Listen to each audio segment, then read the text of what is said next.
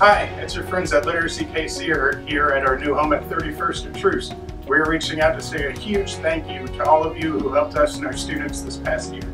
Students are experiencing a more legible Kansas City, and that's in large part due to your support. Here are some of our accomplishments from 2018. 10 students have left public assistance. 39 students have achieved employment, a raise, or promotion. Let's Read gave away 4,449 books to families. 52 students set up emails for the first time.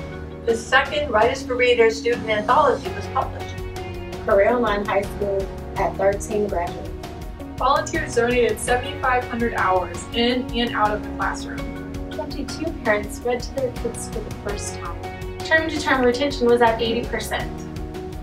High school equivalency classes launched in March and are already at capacity with over 50 students on our waiting list.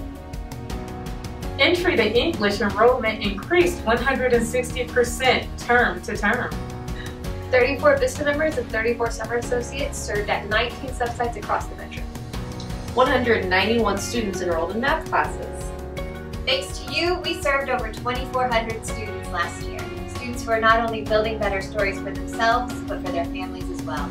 We couldn't be where we are today without your support. So on behalf of those 2,400 students and everyone here at Literacy KC, Thank, Thank you!